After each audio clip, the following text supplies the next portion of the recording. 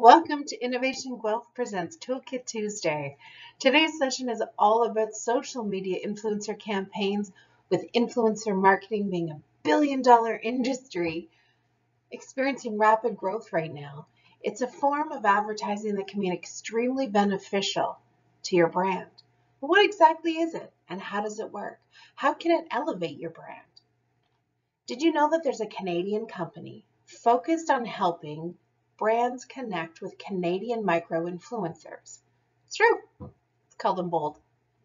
And before I introduce you to today's speaker, the CEO and founder of Embold, I have a quick few announcements. Today's session will be recorded and posted publicly on Innovation Guelph's YouTube channel. We ask that you turn off your mics for the presentation, and if you have any questions, you can type them in the chat box below. Jordan will be monitoring the conversation today and will pose your questions to Umair, our guest speaker, when we have the right moment to do so. And during the last 30 minutes of today's session will also be an interactive Q&A component. So to experience today's presentation in American Sign Language, please pin or spotlight Umair and both the interpreters, Laura and Danica, to the top of your gallery. In addition, anyone in today's session can access the Zoom closed caption function by clicking on the closed captioning option at the bottom of your screen. A quick self-introduction. Hi, everyone. Um, I am Mickey Campo, a program manager at Innovation Guelph, and I'm super happy you're all here today. I'd like to just take a quick moment to thank our corporate sponsors, ISU Software Corporation, Merexis, OKR Financial, Reese Informatica, Invest in Guelph, and of course BDO.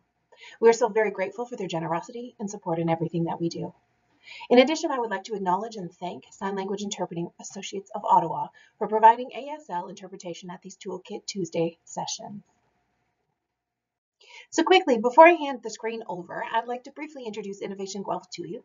While many of you on the call today are clients and mentors, partners and supporters, there are quite a few of you on the call today that may not know too much about us. Um, so Innovation Guelph will be 10 years old this year. We're celebrating a birthday. We are one of 17 regional innovation centers in Ontario. And while we're located in Guelph, we actually serve the entire region of Southern Ontario. And we do have one national program. So that means that while most of our clients are relatively close by, we do have clients in BC all the way through to Nova Scotia. We're very proud of the work that we do with our clients and uh, the support and guidance that we offer them throughout the multiple stages of their growth and development. So I'd like to share a little bit about our presenter today. Umair Tazeem is an entrepreneur with a passion for impact through technology. Through his journey so far, he has become an experienced marketer, sales professional, and product manager, and now founder. Currently, he is building Embold, the innovative platform we are here to learn about today. It allows advertisers to connect with micro-influencers and run highly targeted campaigns. With over 4,000 influencers, advertisers can now reach millions of Canadian customers and engage them with original content. So Embold works with advertisers throughout Canada, USA, and Europe to help them reach new Canadian customers.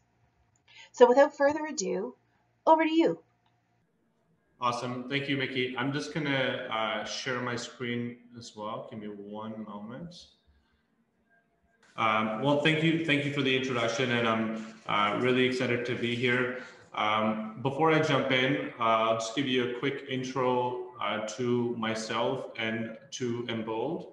Um, I started Embold in, in 2018. Uh, at the time, I was running another marketing company.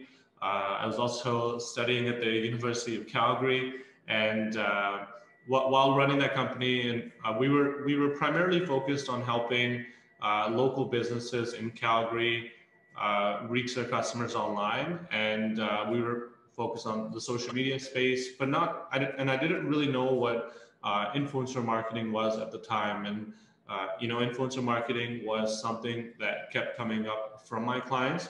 And every time I was trying to help them out with it, we were always coming across uh, the, the, same issues or we were seeing the same trends. We were seeing that uh, there was a lot of uh, agencies in this space.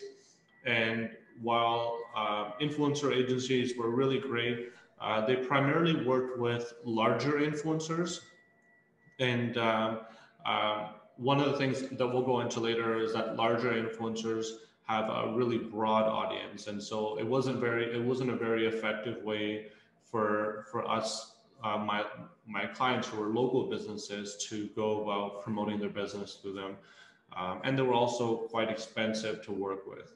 Uh, then we went and signed up for some influencer platforms that were in the market. And uh, while from a technical perspective, they were really great and, and advanced, uh, they had uh, limited Canadian influencers and they were also primarily enterprise focused solutions. So, with those two things in mind, uh, it felt like we had a we found a, gap in the market that uh, that we could explore and that we wanted to jump into. And so in 2018, uh, I launched uh, Embold as an agency. And so uh, we, we signed up a few influencers in Calgary and Edmonton, and uh, we started to go to some local businesses and, and got our, our first client. it was a home builder in, in, in Calgary, and they were launching a new community. And so we, we, we ran that campaign. And as we started to get, get some more traction from, from other clients, uh, you know, that was some of the validation that, that we needed to, uh, to understand what, uh, what this market was. And, uh, and, you know, before starting this, I was also in the same position that, uh, that some of you might be, which is I was like, wait, what? This is actually a market. I, I, this is not something that uh, uh, I, I, really knew a lot about. And so um, in, this call, I'll just be going through in through like our our journey, but also more about how influencer marketing works, how we work with influencers to help you better understand if this is something uh, that can work for for your teams or uh, or just to understand influencer marketing as a whole. Uh, just to give you a little bit of an intro into influencer marketing, uh, influence, uh, really the core of influencer marketing is that it allows uh, it allows your business to use unique individuals, so like everyday people that have built engaged communities online, to go and create and distribute content on your behalf. That's also the most unique thing about influencer marketing, because for example, whether you're going for like traditional advertising such as newspaper, radio, uh, or more uh, or like the newer wave of advertising, which is going to be more like social media ads and, and Google ads and so on. Um, usually, you're going to be paying for the content creation separately, whether it's your team creating it or a professional team creating it, or and then you're going to be paying for the distribution by itself as well. Whereas influencer marketing is very unique in that sense because uh, these individuals have already built these engaged audiences. They know what it takes to go and, and engage their audience. So uh, not only are they promoting your brand, but they're also going to be creating the content.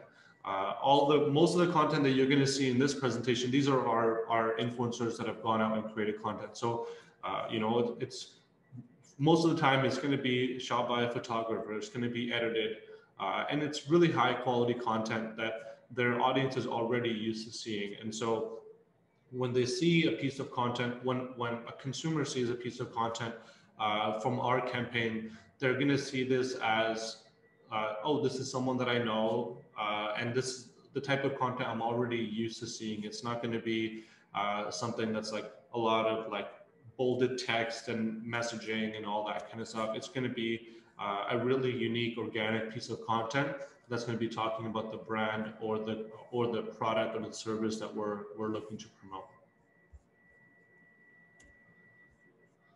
Um, just to give you uh, some some more insight, this is how we view uh, or how we go about explaining uh, the key benefits of influencer marketing compared to some of the other advertising methods out there. So um, when it comes to the different media channels, uh, most of our clients are either doing Facebook and Instagram, they're doing some display ads or uh, some of the more traditional TV advertising.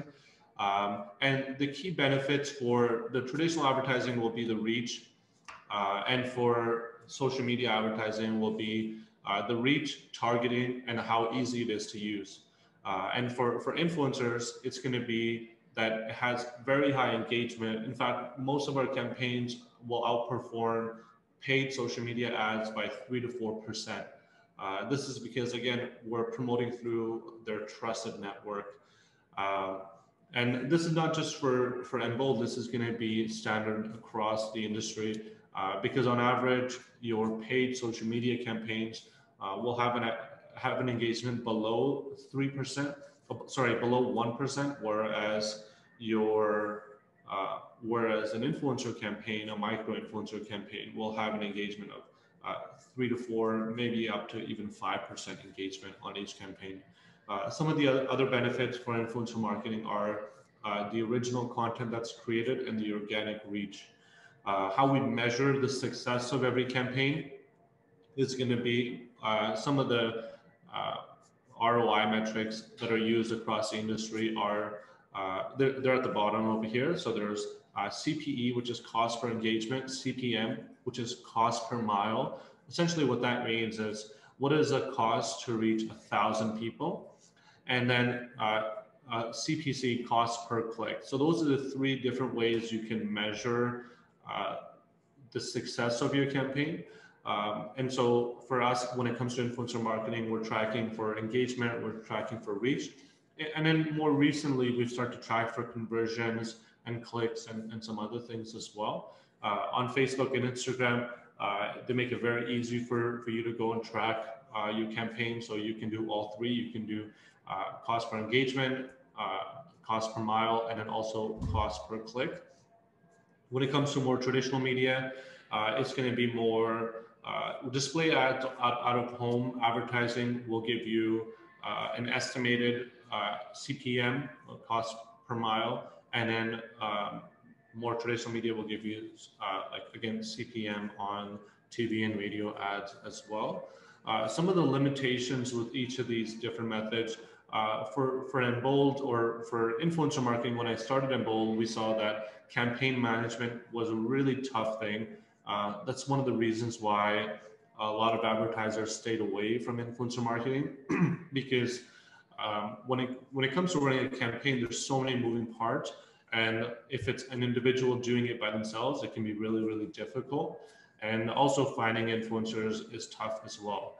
Uh, whereas when it comes to some of the other methods, um, like on social media, uh, the engagement is going to be lower. Uh, if you're going to be creating content through a production company, you're going to be paying for that. And also, uh, the the biggest thing is going to be that there's the, your reach is only going to extend to as far as you can pay for it. And so uh, the moment you turn off your ads, your your reach is going to be your your reach is going to cut off. Your campaign is going to cut off. So uh, those are going to be the biggest things. And uh, for some of the more traditional media, they're expensive. Um, it's hard to target. Uh, and it's also harder to track. So those are the, the few things that we look at and some of the things that we assess for our clients when we're looking. Uh, to help them understand which is going to be the most ideal fit for them. Uh, when it comes to determining that, there's a few things that we look at to see if, in fact, influencer marketing is something that uh, could be ideal for uh, our clients. So, some of the things that we look for uh, is who is the audience we want to reach, and if this is something that that influencers also want to promote. So, uh, right now, for example, for Embold, we're focused on the Instagram platform. Uh, we are expanding to TikTok, YouTube, and later on to LinkedIn later this year. But right now, most of the influencer marketing uh, as an industry happens on Instagram. And so, uh, and the audience on that is primarily going to be under 50. And uh, so when we're working with advertisers, we like to understand who is the audience they want to work with, work with and who is the audience they want to reach. And if, if it is an audience that is within this demographic, then this is something that we will take to the next stage and explore a little bit more.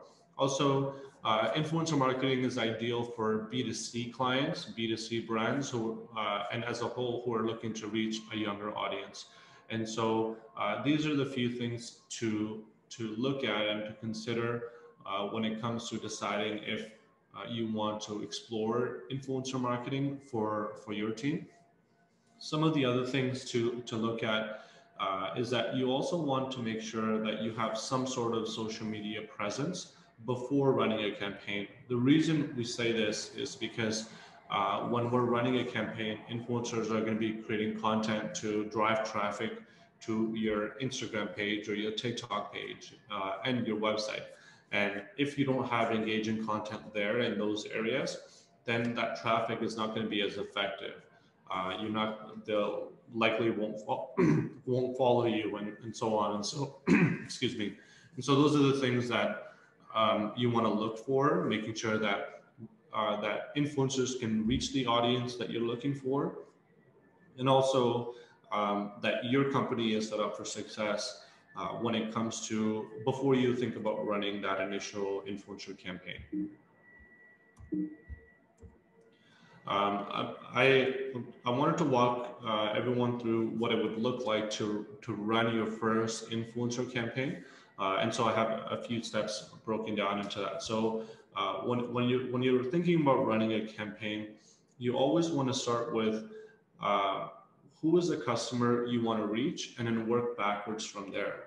Uh, for us, whenever we do this, we uh, on our platform, uh, we're, we're big into analytics and data. And so we're, we're collecting all sorts of different uh, data from our influencers about their audience and about uh, the influencers themselves.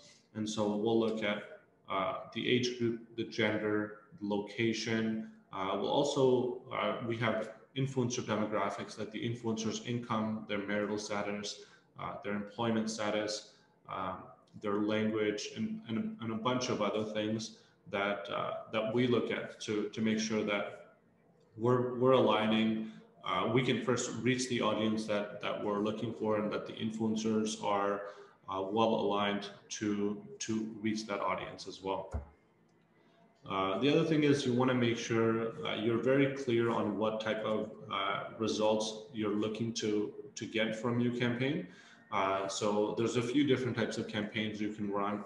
Um, awareness of course there's a lot of awareness campaigns conversion campaigns launch campaigns these are the three most common uh, types of campaigns you want to run the reason why uh, understanding this early on is, is important is because the messaging in each uh, for each influencer is going to be based off of this uh, for us what we like to do is if we're introducing a new brand or a new product to the market we always start with an awareness component and then lead it into a conversion uh, uh, a conversion component later on in the campaign. And so what we'll do is we'll have the influencers start by talking about the value proposition of a product, talking, introducing the brand, and um, and just kind of sharing and documenting their experience with the product.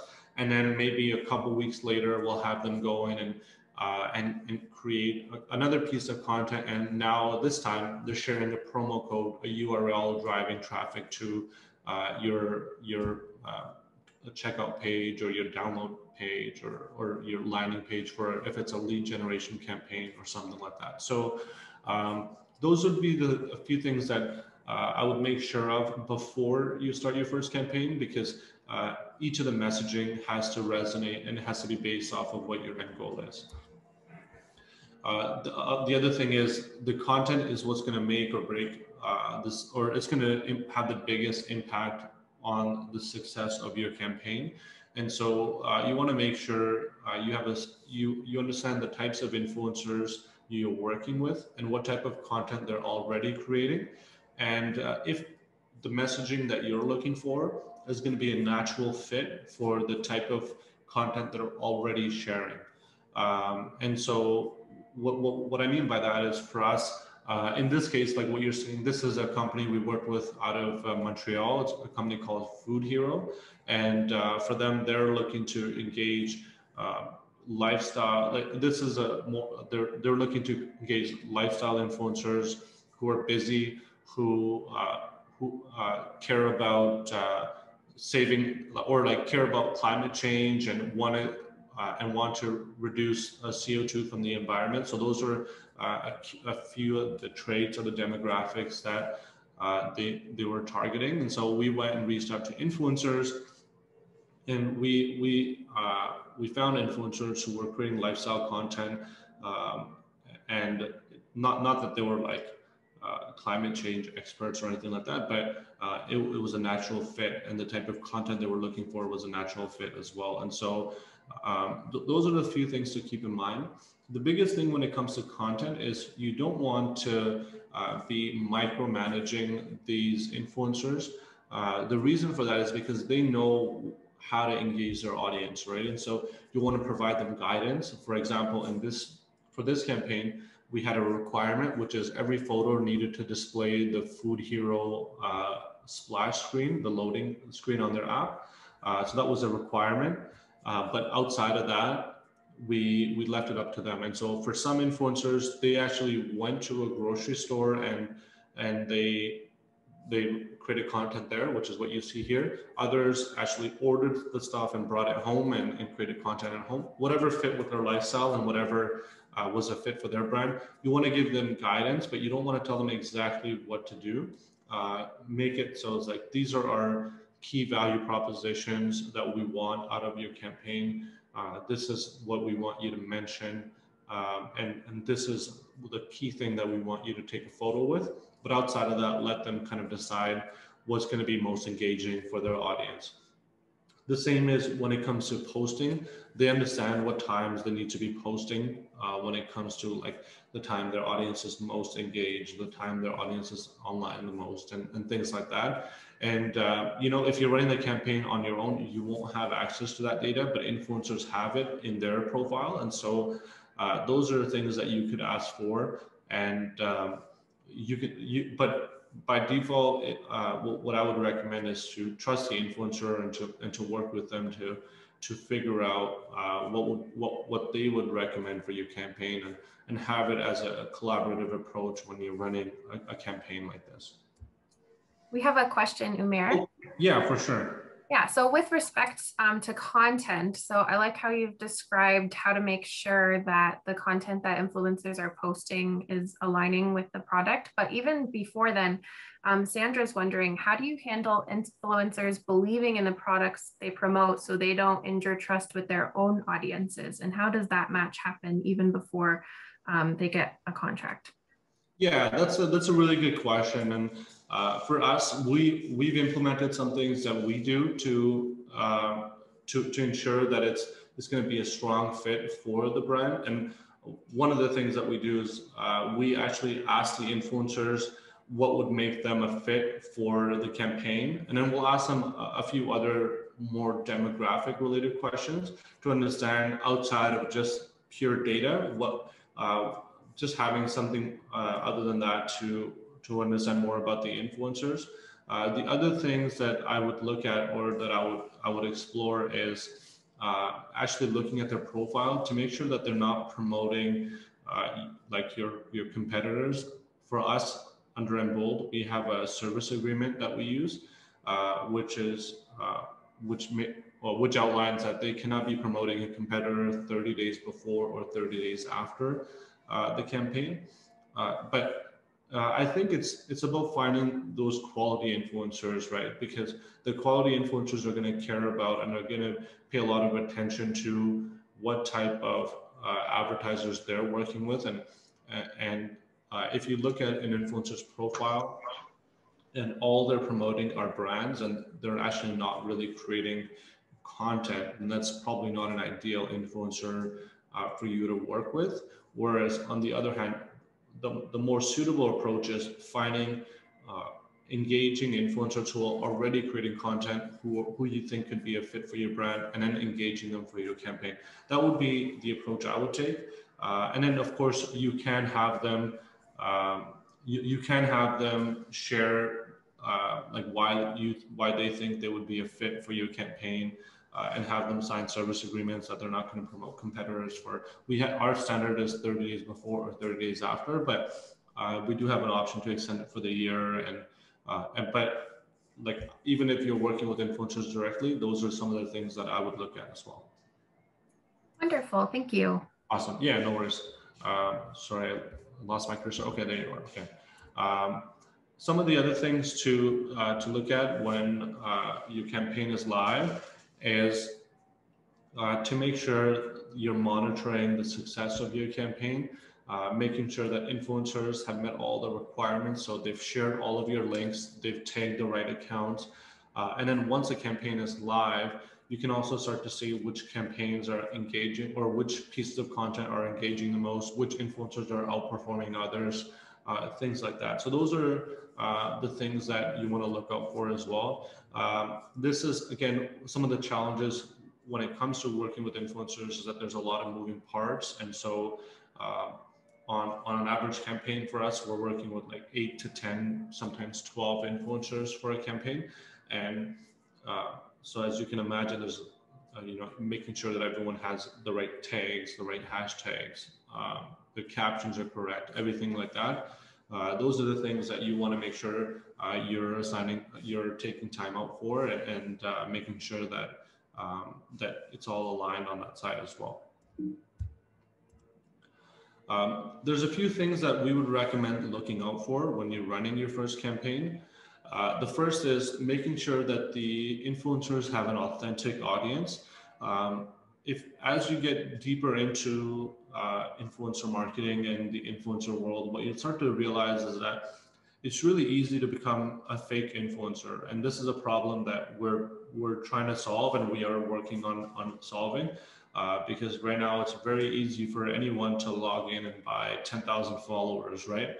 But that doesn't, uh, that's not going to drive any value to advertisers. And so a lot of clients uh, that will work with or that, that are hesitant to run an influencer campaign, it's likely because they either know of someone or they themselves have run a campaign in the past where they saw little to no results. And this is usually because of a low quality influencer that they work with. Uh, so for, for, for us at Embold, we've implemented a few things. Uh, we've implemented what we refer to as like a bot detection tool. Uh, essentially, it monitors the influencer's audience growth and engagement growth over time. Um, because we have enough uh, data from Facebook and Instagram to know what an organic account should be growing at. And when we see sudden drops or spikes in engagement or a predictable pattern, uh, those are signs of either someone buying followers, uh, someone's followers that were bought and then kind of dropped off because that's that's what happens when you buy followers. Sometimes they just like kind of disappear because Facebook will find them and delete them. Uh, the other things um, uh, is some people use like a bot, and what, what they will do is they will mass follow, mass unfollow people, and again, that's a sign of an inauthentic audience. And so, uh, for us, that's uh, those are some of the things that that we would look for. Uh, that, that's what we've implemented for the bot detection tool. Another thing that we look at is where the audience is relative to where the influencer is located. Um, and so um, when you're working with an influencer, and let's just say you're working with an influencer directly, I would highly recommend asking them to send you a screenshot of their audience analytics and understanding where that audience is located. If, for example, um, your influencer is based in Ontario and all of their content is about their lifestyle, uh, whether it be like outdoors content, um, about their job, about their family, and everything like that. Uh, but their audience is somewhere halfway across the world. That's usually going to be a sign that those followers are bought as well, and uh, it, it's a it's a sign that I like that uh, that's not really a, a, a, real influencer or, or someone that you want to be working with because those followers have been purchased. So those are th- that's the easiest way. Uh, if influencers are are hesitating in providing you those analytics, then that would also be a red flag. For us, it's a requirement for influencers to link their. Uh, they actually have to link several things. They have to link their phone number, their bank account, as well as their social media accounts to the platform. Um, and we use the social media accounts to uh, verify that the audience is authentic and it is actually uh, they are actually a quality influencer on the platform. Uh, so those are the few things that we look for. And then the, uh, the last thing to look out for when you're working with influencer is when it comes to the compensation. When I started the business, one of the things I started to see is that uh, every influencer I would talk to had their own way of assigning compensation. I would talk to one influencer who'd have 10,000 followers and would be charging me $100 per post. and I would talk to another influencer with 10,000 followers and very similar engagement who charged me like 500 or 600 dollars per post. And what that made me realize is that there's no way we could uh, we could grow this business because we couldn't predict what the cost was going to be. And so uh, what, what we started to do is we started to interview hundreds of different influencers. We took all that data and then we took data from uh, the Facebook and ad platform and kind of combined it and built our own uh, pricing algorithm that's aligned that's aligned with what an advertiser would already be paying an influencer on uh, the Facebook ad platform. But when you're working with influencers directly, uh, that's one of the things I would be really cautious of and make sure that you're talking to multiple influencers um, in, in that area and, and getting prices from them, just so you can get a quick idea of what that market is. Um, and so, so those are the few things that I would recommend. The other thing that, uh, the, and then the other rule as a startup, we're, we're still in our early days. We're, we're at about like 11 employees now, but um, we don't have a lot of rules, but one of the rules that, that we have is we don't work with agents or anyone who represents influencers, uh, because what we found is that uh, agents always overprice their influencers uh, as opposed to independently like as, as opposed to like independently run accounts. Uh, because when these influencers are working, uh, like we'll, we'll, work with them and we'll have, um, you know, we'll pay them a hundred, two hundred dollars per post, whereas an agent will be requiring like six to eight hundred dollars per post. And you know, for for for us, there's no way we can justify working uh, with an influencer like that because you know they're they're not uh, our clients are not going to get the same amount of reach or engagement uh, for them to justify that investment. And so that would be something else that we would be cautious of. Uh, agencies are different. There are agencies that are very transparent about how they go about compensating their influencers but there's agents who are like individuals. It's not really a company. It's just a single person and they're managing like 10 or 15 influencers. Uh, be something that I would, I would look out for and uh, just shop around a little bit more before you before you jump into that campaign. Um, when it comes to running a campaign, we, we have a pretty standard process that we follow.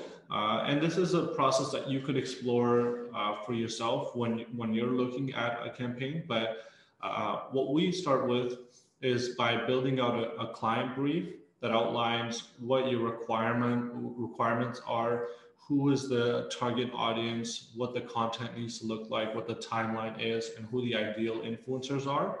Uh, we take all of this, we build out a brief, uh, we create the campaign on the platform. Uh, but for yourself, it's really important to uh, gather all this information for yourself as well, just so you know what the campaign expectations are, and you have a document that you can share with influencers.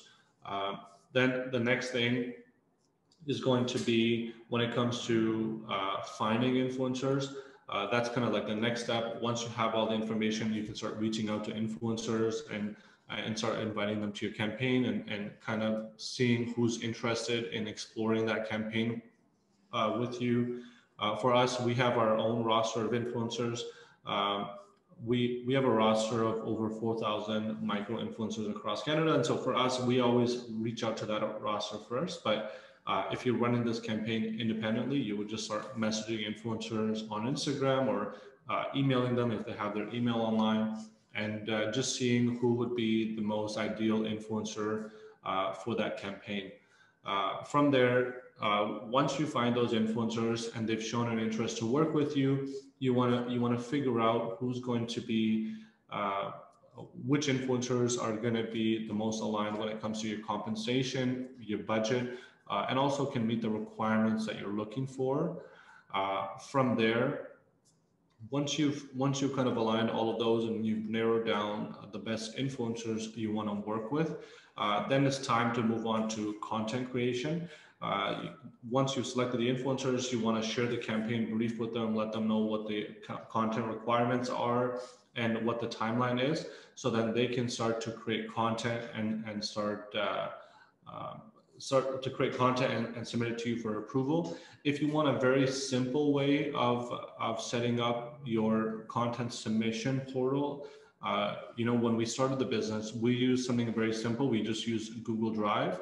and uh, we created folders there and we shared the folders with each influencers and uh, then influencers would just submit content to us for approval there and we would just monitor it and, and review it and leave feedback uh, so that would be kind of like a very like a very inexpensive way for you to implement an influencer strategy is message influencers directly create like a google drive which is kind of like your go-to uh, content portal and then from there uh, once they submit content to you for approval, uh, you want to make sure you carefully review all of the content, all of the messaging.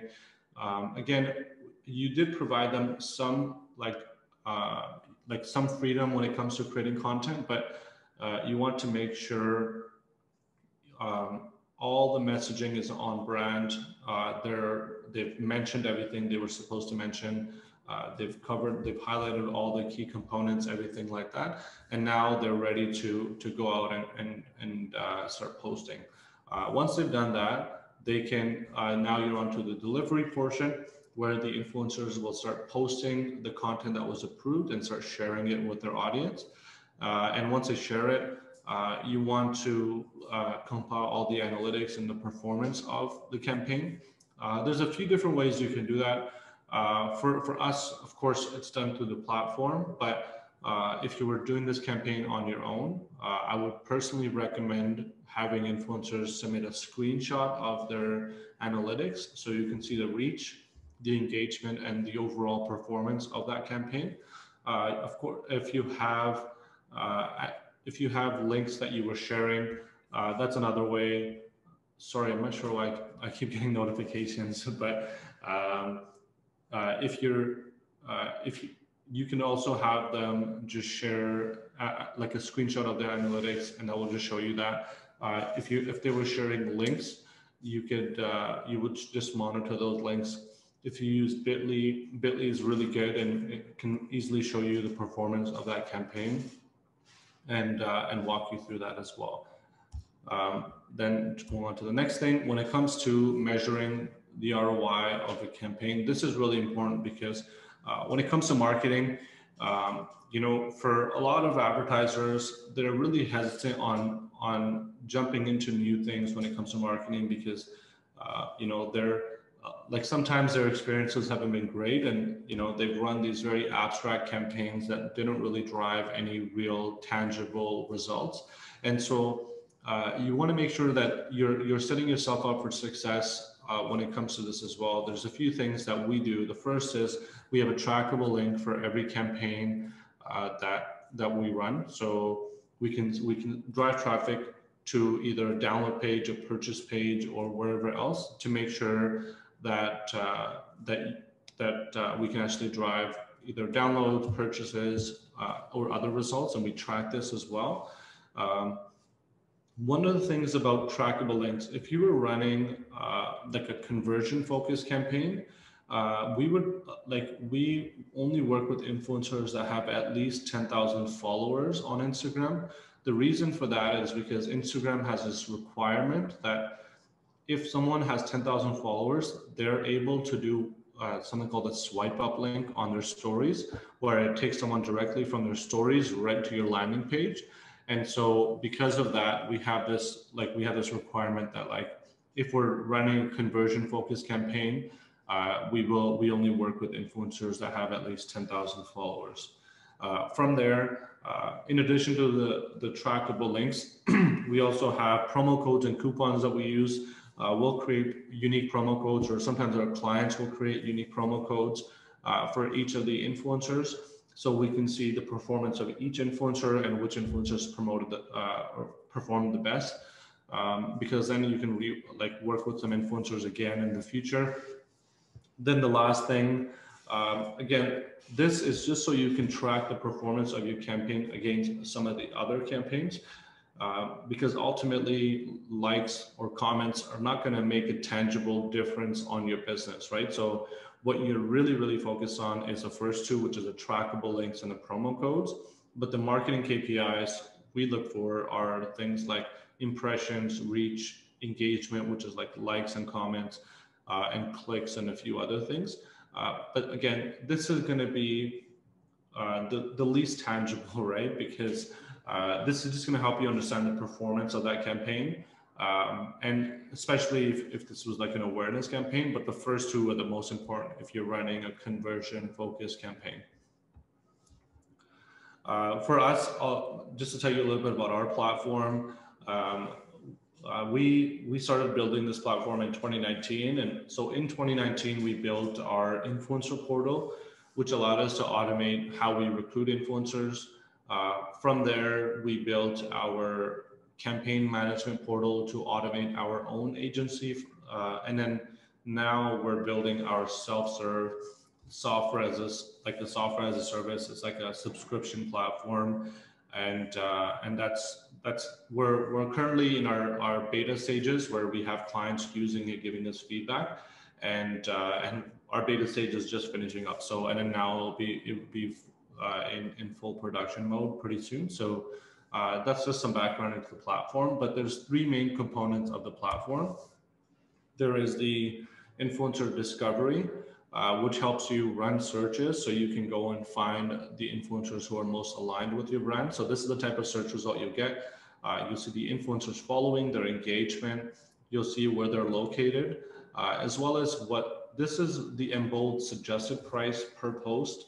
Um, and so the reason we've done that is so you know what uh, roughly what that influencer uh, influencer is worth, and uh, or sorry, their posts what their posts are worth and uh, from there you can start to uh, engage them further. Uh, once you do that, you can you can get into the campaign management side, which is we have a campaign management portal where you can create your campaign, invite influencers, manage your content. Um, also, we have like a, a inbox, of course, where you can talk to the influencers. You can view all of their analytics everything like that. Uh, and then the last part of the platform is the reporting and payouts. Uh, I mentioned earlier that the influencers link their bank accounts when they sign up. The reason for that is so you can pay them right away and very easily on the platform. Uh, so when they when they go through their uh, the, you, you'll jump on, you can invite them to your campaign. Once you work with them and it's time to pay them, you can pay them with a few clicks as well. Um, and how that how that how that will flow is that uh, you'll initiate the payment and we'll complete the payment on your behalf just to make sure everything is aligned uh, and the influencers have met the requirements. At the end of every campaign, you'll also see uh, you will also see the performance of that campaign so you can see the likes, the comments, the impressions. For us, because we're tied in from the back end through the Facebook API, we collect the analytics for you um, right away. And so our, if you're posting if you were uh, running a post campaign like a if the influencers are sharing a post uh, those that performance will be updated every hour and if they were sharing a story that is updated every 30 minutes and so those uh, reports are updated for you and are regularly updated so you can see which influencers are performing the best uh, and and how your campaign is going as well uh, we also offer fully managed campaigns. Uh, this has been the side of our business that's been live since day one. Uh, this is for teams that want to run a campaign but don't have the resources or the, or the time to run the campaign themselves. And so for something like this, uh, our team will come in and uh, create a campaign brief for you. As I mentioned, we'll find the influencers, manage the content to make sure everything is aligned and, and uh, is on is according to what we what we want to do. And then from from there, we'll go out and make sure the, uh, the campaign is delivered and we'll send you a report on the campaign uh, as well so you can mo monitor the performance of that campaign. So that's how uh, our, our campaigns are set up. Like these are the two main sides of our business. Um, when it, and then also that, that brings us to, to this presentation. So uh, we recently partnered with uh, Innovation Guelph and uh, we're offering all all uh, Innovation Guelph clients 50% off the platform for 12 months. Um, and so to, to take advantage of, of this offer, uh, you can actually just contact the Innovation Guelph team and, and they'll connect you with a member of my team and we can go from there. Uh, sorry, excuse me. That's pretty much all that I wanted to go over. If you have any more questions regarding anything that we've discussed, this is my email address uh, just feel free to, to, contact me and I'll get back to you. Uh, and I'm more than happy to, to connect further and answer any other questions that you have. Awesome. Thank you so much. Um, so we do have a couple questions and a couple topics that I'd like to circle back to. Um, we have one clarification question first, and then we'll go back to the other ones that we held until the end, okay?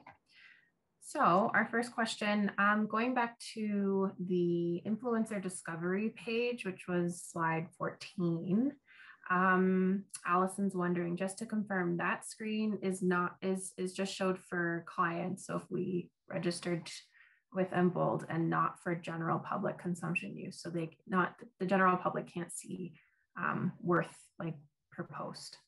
Right? Yeah, they, they can't see that. No, it's only for uh, advertisers who have paid and are on the platform and are using it.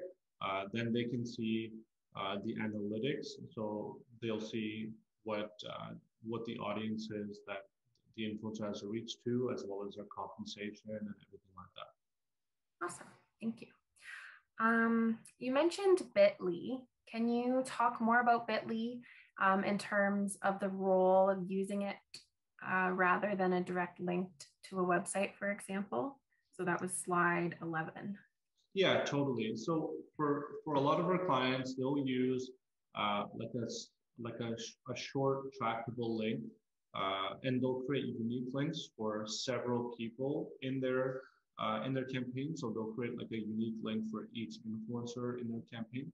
Uh, Bitly, the reason we use Bitly and a lot of other clients use Bitly is because it's very easy to track and they don't have to go through like their like tech person on their on their uh, in their company or, or something like that. They can just create an account.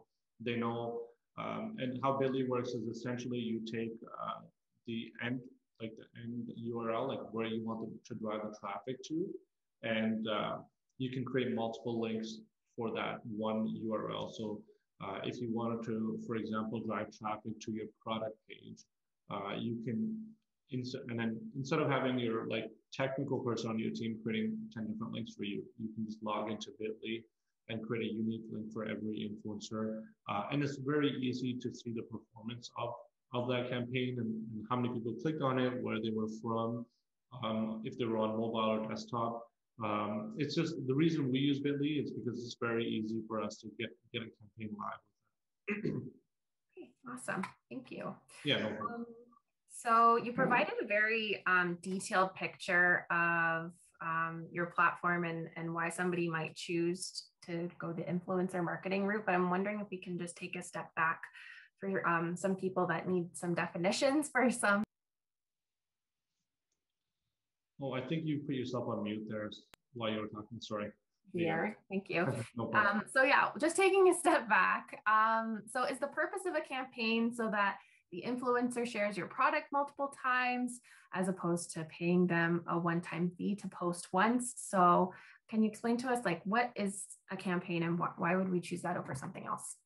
Yeah, so we just like to like refer to a, a campaign as like multiple influencers posting multiple times. We've run one-off like promotions where an influencer just promoted promoted a product once, but we found those campaigns are not very effective, uh, especially because uh, you know there's so much content on Instagram. Like uh, if, if you go on Instagram, every time you load, there's like more pieces of content being shared. There's so many people posting content online, and so it's really hard to stand out.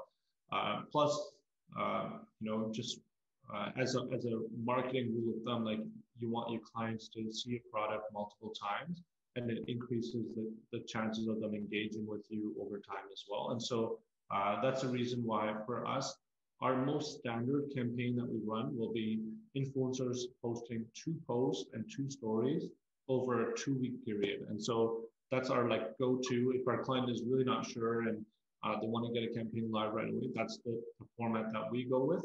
Um, and and the and I guess the objective of a campaign will be uh, it's it's what you it's based on your business needs, right? Like if, for example, uh, your business uh, you want to promote a specific product or service, uh, how a campaign could work for you is you come in and start with more of an awareness component, talk, having influencers talk more about um, about that product or service, and then going into more of a conversion. So having dri- driving traffic to either a landing page or a download page or uh, or uh, like a uh, like yeah like a landing page purchase page or a download page like that's what a, a typical campaign would look like thanks um, okay, so we have another question from um. Do you work with specific industries and or businesses? For example, their business is an art and color energy healing business, so that would be kind of more niche. So, um, do you do you see a fit for something like that?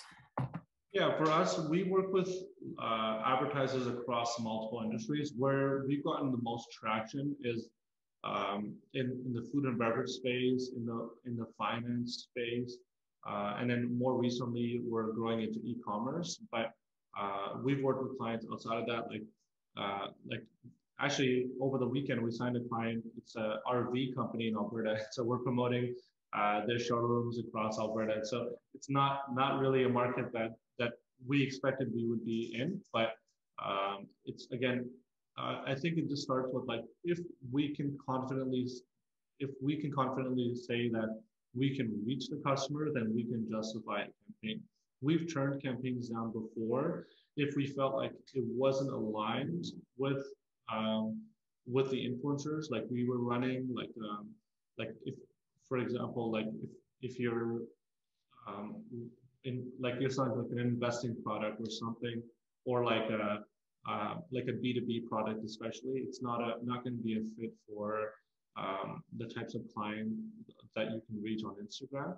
But when it comes to this specific examples, like uh, there's a good chance that we can find the right influencers. It just depends on, uh, like we would just need to know more about the product and, and the service to know if if the client, yeah, if we could reach enough of your end users to justify that campaign for you. Awesome, thank you. Yeah, no problem. Um, yeah, we received a follow-up question from Eric. Eric um, has a very specific niche market for disc golf. So he was also wondering how do you tailor influencer selection? So kind of in line with what you were saying, uh, um, if we can provide you a, um, as much information as possible about our product and what we're looking for, then it kind of sets you, um, you guys up um, for success in finding those influencers, right? Yeah, exactly. I, I think when it comes to uh, very niche products. Um, if we can find influencers in those markets that are already talking about that, and this is a natural extension of what they're talking about, then it can work. But if it's like, for example, if we have lifestyle influencers or travel influencers promoting a product like that, uh, like we know it won't work, right? Like maybe maybe one percent or a small fraction of their audience will be uh, will be that customer, but more likely not. So for, for a campaign like that, we would just do some more research to see if we can find some influencers that would be uh, influencers in that market or confidently speak about that. And that will help us better like assess that campaign. Excellent, thank you. Yeah.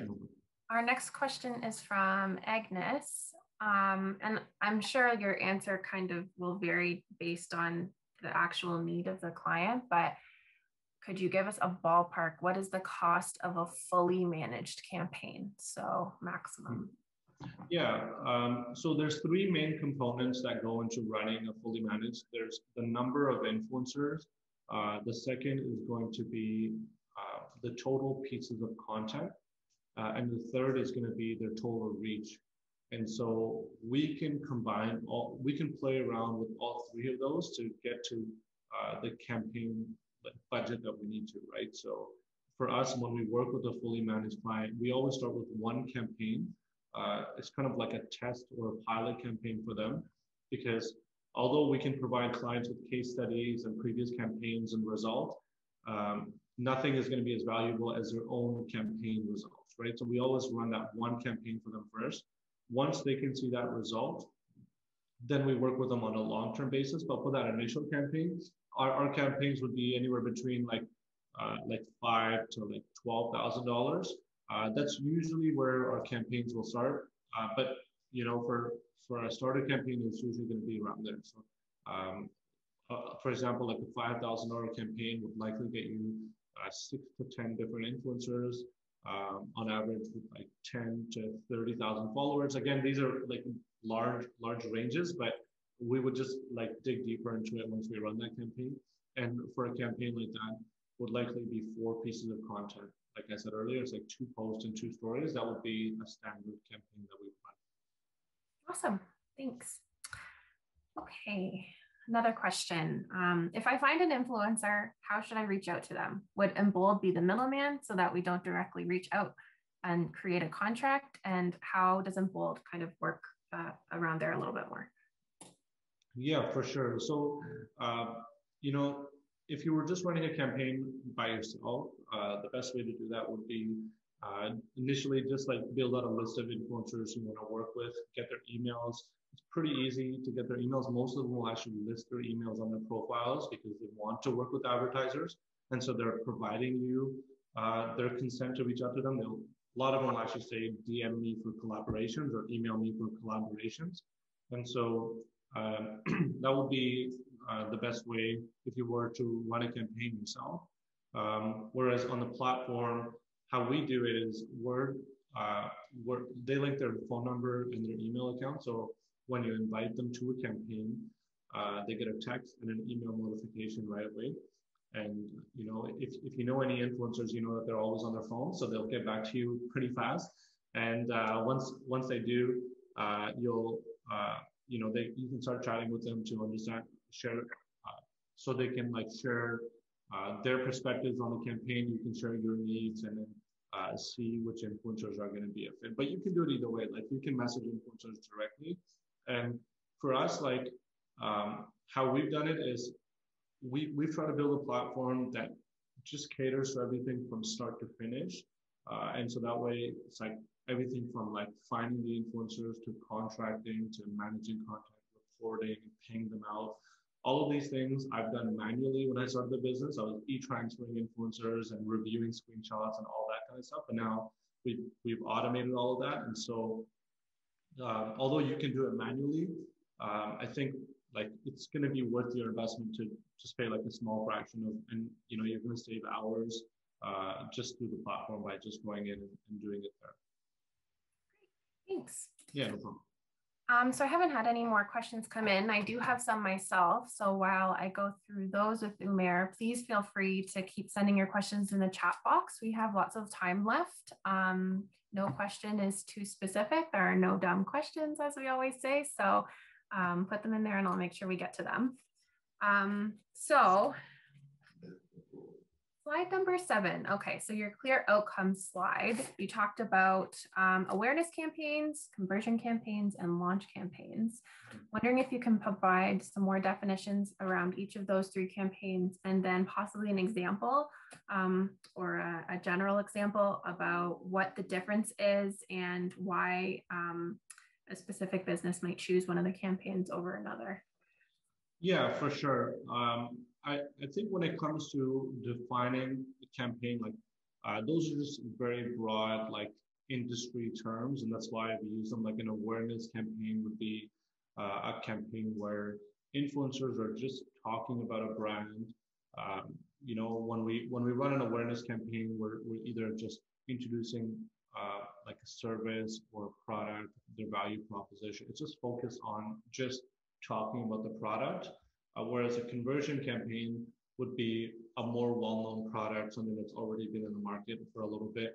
And for those products, it will be more uh, driving traffic to a conversion point, like um, where it's like download the app, um, that you can purchase this product here, and so on. And so, uh, and then the launch campaign will be a hybrid between between the two. So uh, we just we just launched a campaign for this uh, this cosmetics brand, um, and uh, for them, their their product is sold at Sephora, and so for them, we had influencers uh, go in, and the first post was more, uh, uh, more of an awareness post where influencers were just talking about um, about the product, the value proposition, and so on. Just kind of introducing this new product that this company has released, and then the later post was here uh, swipe up to go to the Sephora link and and purchase a product for yourself. Or, uh, and then also like you can share promo codes at times and, and things like that. But I think uh, like the terms aren't as important as what your business needs are. So I would just kind of base it off of what your specific business needs are and, and go based off of that. So um, if, for example, you, you're just introducing your product to a new market, I would, instead of just running a campaign talking about uh, telling people to purchase or download or anything like that, um, you want to start at the top of the marketing funnel, which is like introduce your product, introduce your value proposition, uh, just like you would with any other campaign. Like that would be a good place to start. That's not to say that you can't include a link. Um, for us, we have links in all the pages. It's just driving traffic to a different uh, to a different link. Um, I think I think that's the way to look at it. Awesome. Um, my other question was, you talked about getting the um, analytics from your influencers' um, Instagrams and reviewing those yourself to make sure um, you align um, with their audience. I I think. Um, so, what exactly, when I'm asking for those analytics, what exactly am I looking for, and where can I find it um, when I receive that from them? Um, just, I'm thinking some people might not be familiar with what that looks like. Yeah, that's a really good question. So, for, for something like that, uh, on Instagram, analytics are very straightforward. Um, there's three things that you're looking for. Um, the and you'll you'll usually get a screenshot with all three of them. The first is uh, the audience location. And there's two ways they can break it down. They can do it by city or by country. Uh, of course, by city is going to be more important. So I would ask for that. Uh, I would also make sure that they're showing you the percentages of the audience uh, because on Instagram, and honestly, I'm not sure why they do this, but uh, you can tap it once and it will hide the percentages and tap it again and it will show the percentage so like how much of the audience is in Ontario or Toronto, for example, how much of it is in, in other cities. And so I think that percentage of their following uh, in, in each market is very important. And so make sure you can see that. So making sure your audience, the audience that you're looking to reach is also the audience that they can reach. So I think that's the first thing. Uh, and then the other thing is that uh, age demographics, it will give you data on that as well. Uh, so um, for the most part, uh, I think the, the largest demographic on Instagram is going to be anywhere between 18 to 35 up to like 45. Uh, and then you'll see it start to drop off right away. Uh, and so, but each influencer is a little bit different. And so those, that's the other thing that uh, you're, you're looking for. And the last is Instagram also gives you the gender breakdown. Uh, and so that's the other thing to look for, right? So uh, I think all of all three of those things combined will give you a really good idea of, of what that campaign is, or like what who that influencer is, and uh, how they align with the audience you want to reach. Thanks. Um, okay, so a couple more questions in the chat box. Thank you, everyone. Um, Brad is wondering, on average, how much time should I be prepared to commit um, to each of your programs. So um, how much time does it take on our end to set these up and manage them based on uh, what our business needs are? Yeah, um, when it comes to running a campaign, uh, if, if you're doing it yourself, I will, I would take anywhere between seven, seven to 10 days to actually find influencers, at least, so up to two weeks, I would say, um, to finding influencers. So this is like inviting them to your campaign and then uh, having them apply and provide you all the information like their analytics and stuff like that. So that way you can you can understand who the influencers are. So about about two weeks to coordinate with the influencers, um, and then about another week to two weeks, depending on uh, your product and your business, on uh, for the influencers to create content. So, for example, if they're promoting an app and they can do it from home, uh, I, we would normally give them about a week to create content. If it's a product that needs to be shipped out, then you have to take that time into account. If it's a, a physical location that you want the influencers to go to, then again, you want to account for that. So uh, it will be another week or two, depending on what your business is or what your product is. That's how I would, uh, I would go about it.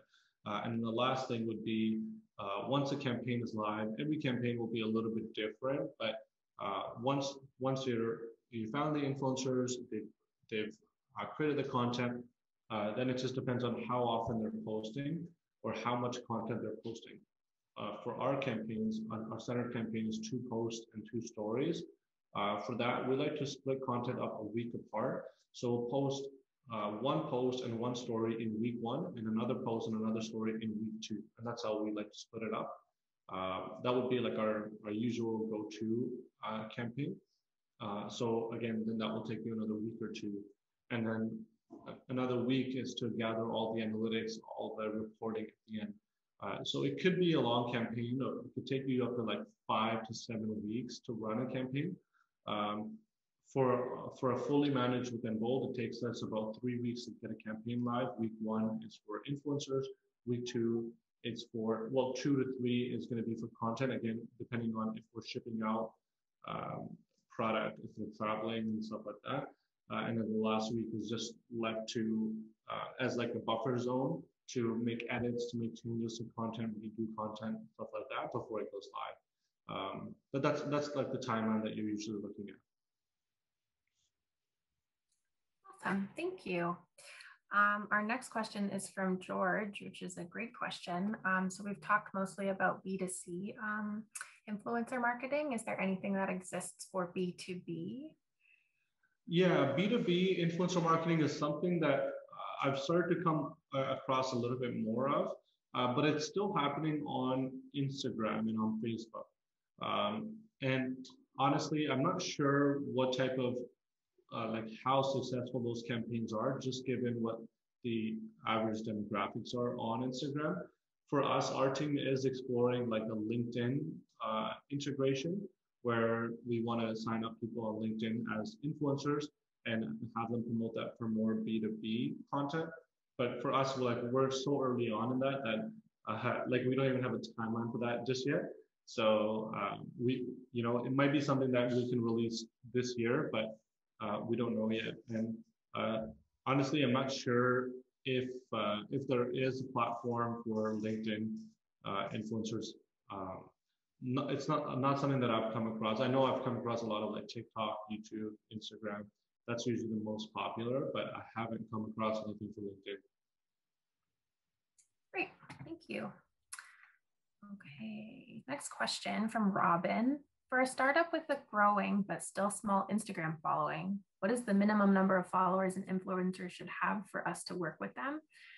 We are just shifting into our first influencer campaigns as we launch next month. And then my follow up question to that is Can you explain a little bit more about the term micro influencing as opposed to other forms of influencing? Yeah, uh, and I was actually just thinking about that. I was like, I'm pretty sure I was supposed to have a slide in there that said what micro influencers are, and I totally missed it. So, uh, micro influencers, or everyone will have a little bit of a different way of defining it, but for how we define it, it's uh, an influencer with anywhere between 3,000 to like up to like 30, 40, 50,000 followers. Uh, we do have influencers that are a little bit bigger than that, but um, you know, uh, once they get past that 100,000 mark, then they would be considered like a macro influencer. Um, this is the point where you'll start to see a lot of influencers get agents and get uh, someone to represent them. Uh, it also slows your campaign down because now you're talking to someone else to run your campaign. Uh, it also gets significantly more expensive. Um, and then uh, beyond that is what we would define like once you get into the million, two million, three million, then we would just define them as like a celebrity influencer. Uh, and now, uh, and so those would be the three main. And then anything below 3,000, we would define them as like a nano influencer. Um, nano influencers are really great. They're really inexpensive to work with, uh, but they do have a limited reach. And to scale up that campaign, you have to work with so many influencers uh, that for us, we've like we do work with them from time to time, but for the most part, we usually don't. We usually just work with influencers. Um, for the most part, with at least like 10,000 followers, I would say. But uh, as they get smaller, like it is a more concentrated uh, audience, which is really good. It is going to be uh, uh, like more affordable to work with, and so that's of course good for for startups. But it's also tougher to manage because now uh, this now you're getting into the territory where these influencers might not have worked with an advertiser before, and so they don't know what the influencer world is like, and so uh, like getting content on time and things like that could also be an issue. And so those would be the four main criterias for uh, the types of influencers. When it comes to startups, uh, our, my personal route would be to work with influencers. Uh, it depends on who the audience is, but if you're looking to go by like geographic markets, I would go for influencers between 10 and 30,000 followers. Uh, and that would be the route that I would go. It's just like, so even for like larger advertisers that we work with, we work with like some national brands and even for their campaigns, even though we're running, like a Canada-wide campaign, we'll break that down into like key markets, like key cities that we want to uh, reach out to and key cities that we want to reach. And, and then we also break that apart by like, for example, if 40% of your market is in Ontario, make sure 40%, roughly 40% of your influencers are in Ontario and, and so on. And so uh, I would say if, if you're starting out and your budget is limited, uh, I would try to work with at least influencers that have 10,000 followers so they can give you that swipe up link capability. Um, and then from there, um, to see who, who can reach your audience. I think as you get those analytics, it will be more helpful. It gets a little bit easier, but uh, that's that's how I would go about it. Great, that's a good guideline. Thank you. Um, so, um, Mickey and I know the answer to this, but can you re-clarify for us? Do you work with U.S. influencers? Uh, we don't. We have like we do have some influencers that have signed up from the U.S because of course we plan on expanding to the American market, but we're not actively reaching out to influencers. So um, we uh, right now we're only focused on the Canadian market. Um, when it comes to the American market, there's a lot of influencer platforms that you can explore, uh, and you know some of them are going to be affordable as well. So um, you know there's there's different levels of it, but there's like some enterprise focus like enterprise level software uh, solutions, those are probably not the route that you want to go, of course, uh, because they're going to be a little bit more expensive. Uh, those subscriptions are anywhere between ten to forty thousand dollars a year, so they're quite expensive. But then there's a lot more affordable ones as well. Will be maybe a hundred or two hundred dollars a month. So um, there there are those routes that you can take as well. Great, thank you. Um, we talked about this one a little earlier in the presentation, but could you reiterate for us a good starter pay for an influencer within those follower ranges that you explained for a campaign? Yeah. Um, so the way I, the way I'll answer that is like if it depends on what they're posting. So if they're posting a post, it will be anywhere between like $80 all the way up to maybe like $250. It just depends on their engagement, their reach, and their audience. Uh, that would be like a good range. Uh, and then if they're posting a story, it will be our rule of thumb is we always go usually a third or a fourth of what we'll pay for a story is what we'll pay for. Uh, sorry, what we'll pay for a post, we'll pay a third or a fourth for a story. So like if we're paying someone $100 for a post, we'll pay them like 30 to forty dollars for a story. Like that's that's usually how we go about uh, compensating influencers because stories are temporary; they're only for 24 hours, and uh, and but we we like to leverage both. Uh, we don't really run like story only campaigns or post only campaigns. We like to mix it up a little bit, uh, and and that's how we go. Great, thanks. Um, another question from Robin. Do you have any advice for seeding for content by giving examples? So I know you explained we don't want to micromanage our uh, micro influencers and in the content they post, um, but is, is there any guidelines around providing them samples about what we kind of like to see? Yeah, for sure. So uh, it's always great, if, especially if they're promoting a product, that they can actually get your hands, uh, their hands on on your product. Uh, we've worked with clients that have more expensive, like their average value would be a few hundred to sometimes maybe a thousand dollars or more. For those types of campaigns, we will actually ask the influencer, like we'll ship the product out to the influencer and ask them to ship it back at the end of the campaign, uh, because just like doesn't make sense for the client to give client like give advertisers or give influencers a thousand, two thousand dollars per a product. Um, but for smaller, like where your cost per sample is lower, we highly recommend you give influencers something because then they can actually have it in hand. They can actually be using it and then and then share it with their audience, right? Uh, it also helps them like create content that way.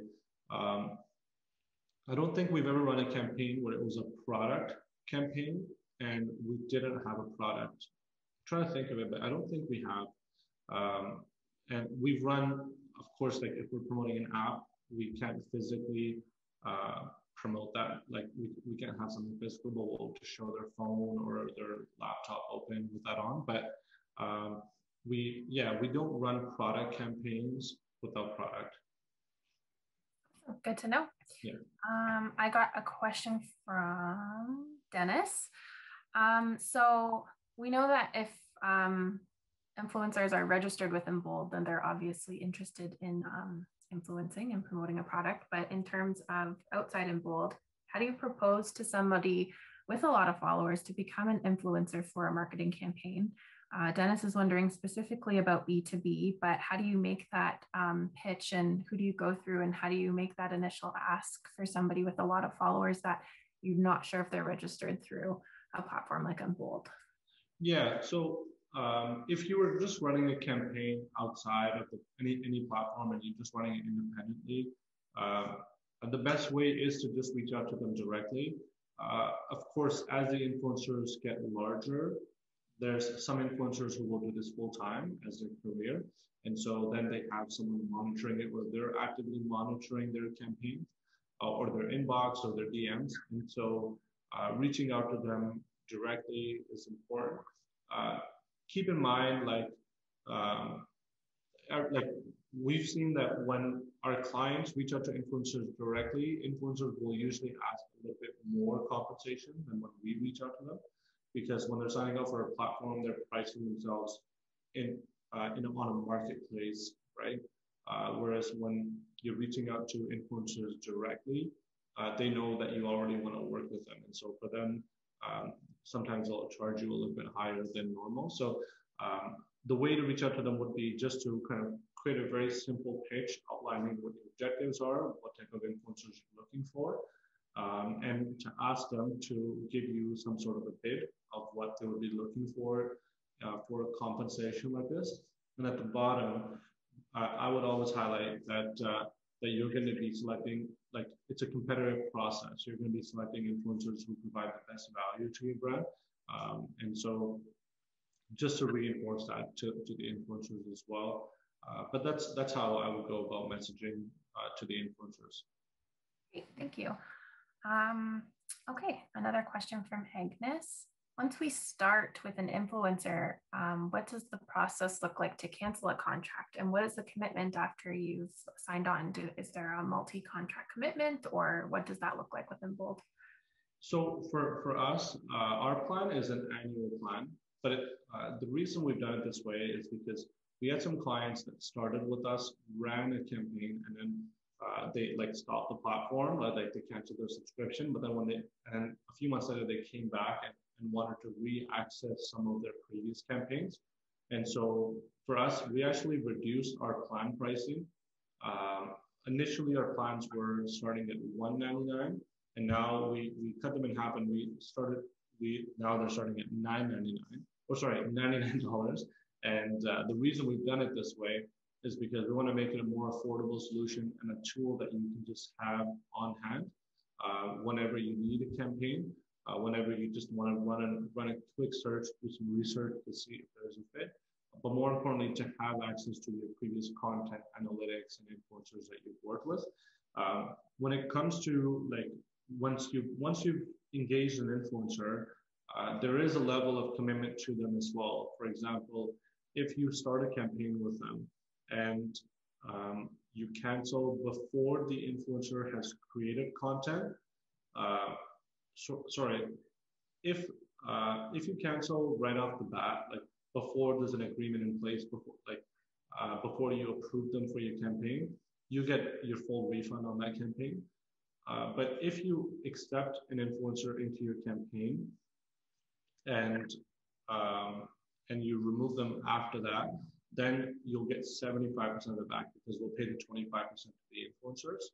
Uh, if the influencers created content and submit it to you on the platform, and then you cancel it at that point, then you actually wouldn't get anything back because they've already done their end of the work, which is they've gone out and created content.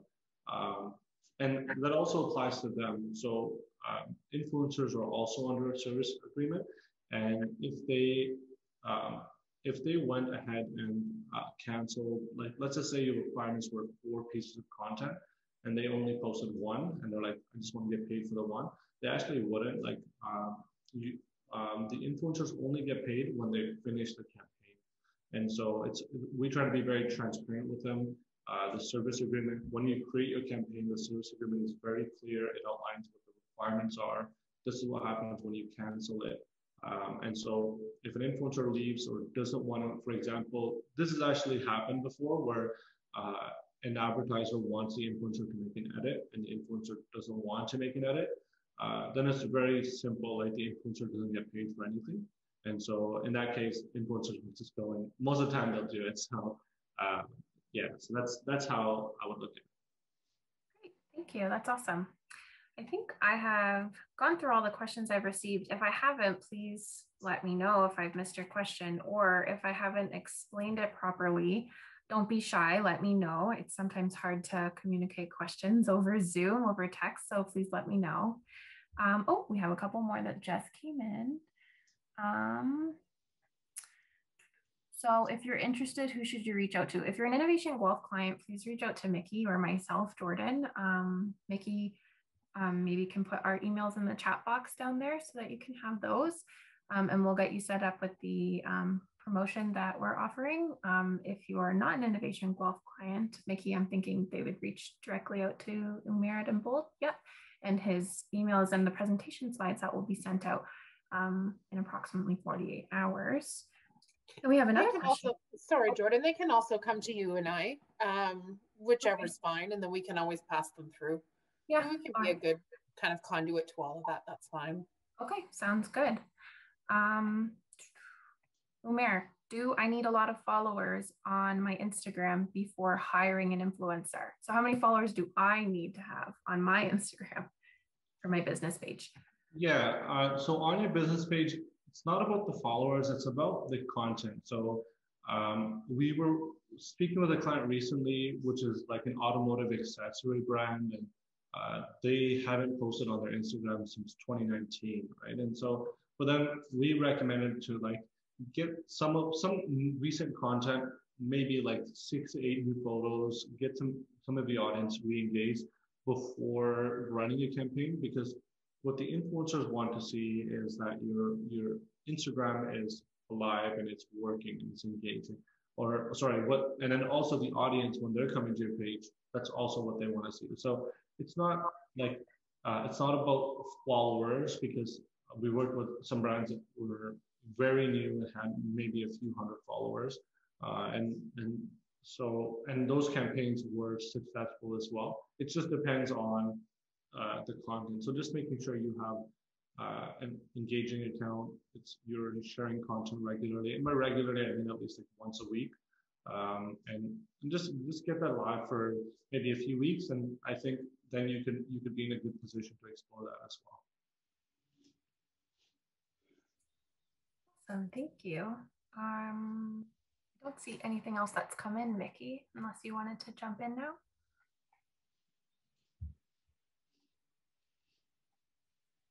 Sure.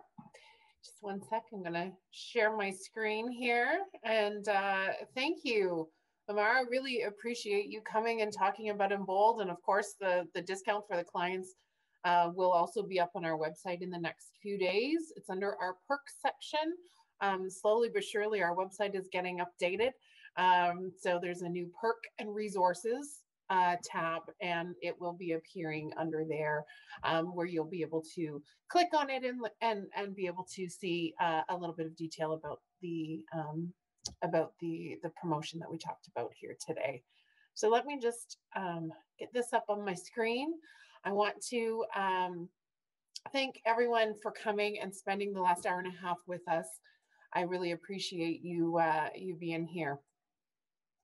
So um, the 50% off platform, like I said, email Jordan and I, I dropped our email addresses in there. We're also going to be putting in a link for a uh, feedback form. So we would really appreciate it if you could fill that out. That would be great. Give us your thoughts on today's session, but also if you have any ideas for any future sessions, then um, we would love to hear that as well. Um, these Toolkit Tuesday sessions happen on the third Tuesday of each month, and uh, we aim to find topics that interest you. So if you could let us in on what does interest you, then that helps us do our planning. So that would be fantastic.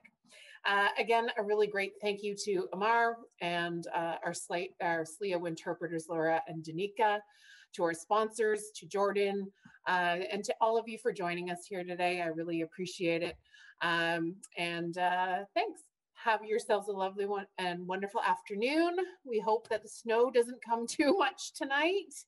Um, and uh, the sun's shining pretty soon again. All right, so take care and stay safe, everybody.